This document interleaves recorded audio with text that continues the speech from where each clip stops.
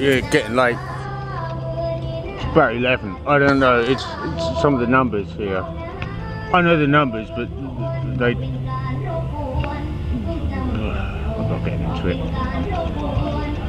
Anyway, I car up, see if Leo's still got his fryer on. Uh, I've got to go and do uh, see one more place. But then I'll probably get home before 12. A shitload of food. Oh, fucking shitload.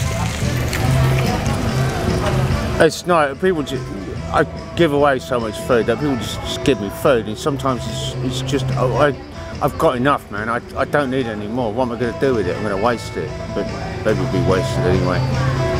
But still, I don't, sometimes I, oh God, people. There's a lot of cars around tonight. New Year and shit. So I've got have food, but uh, you know what? Some maybe uh, some vegetable spring rolls from Leo's, and if you go up there, and he- he's gonna bitch.